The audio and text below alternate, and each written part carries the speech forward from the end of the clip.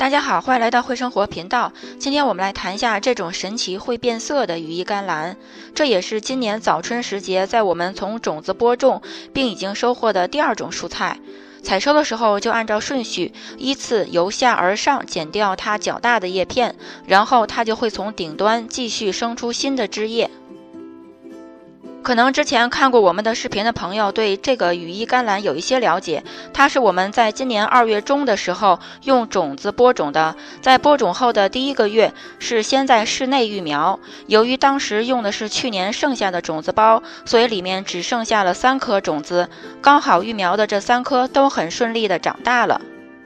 这种原产自英国六十天早熟型的羽衣甘蓝是非常神奇的。它在遇到寒冷的天气时，叶子会变成紫色；在正常温暖气候的时候，它的叶子会变成绿色，像是一个神奇的植物温度计。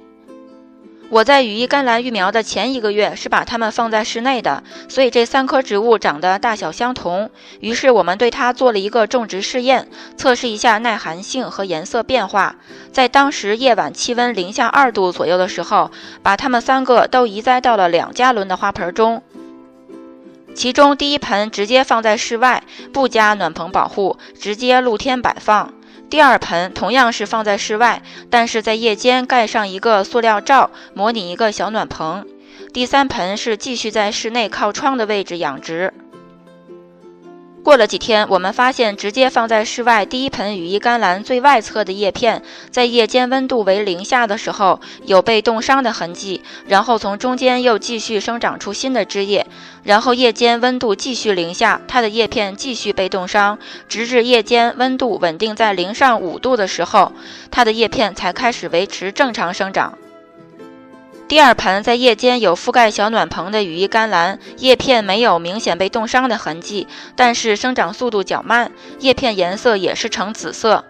第三盆放在室内种植的羽衣甘蓝，成长速度明显较快，而且整盆叶片的颜色都是绿色。于是我们把第三盆在室内种植绿色叶片的羽衣甘蓝搬到了室外，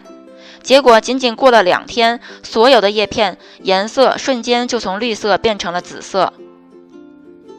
随着这两天温度陆续回暖，夜间温度最低只有六度，所以看到顶端新长出的叶片颜色又开始变回绿色。我们喜欢种菜，而且通常一类蔬菜，我们通常选择种植几个不同的品种来比较它们的生长习性。比如今年我们一共种了三种羽衣甘蓝，紫色是其中的一种。我们还另外种了卷叶型和一种意大利传统的羽衣甘蓝。明显感觉这三种羽衣甘蓝，它们对生长温度的要求、光线的要求都是不同的。所以种菜的时候很难通过种一种菜里面的一个品种的就几棵来概括这种菜它全部的生长习性。我们也是尽可能尝试多种一些蔬菜的品种，来比较同类蔬菜不同品种生长习性的差别，然后在这里分享给各位种菜的朋友。总之，这种紫色会变颜色的羽衣甘蓝是我觉得最神奇的蔬菜之一，喜欢的朋友不妨尝试一下。好了，今天的视频就分享到这里，感谢您的收看，咱们下期再见。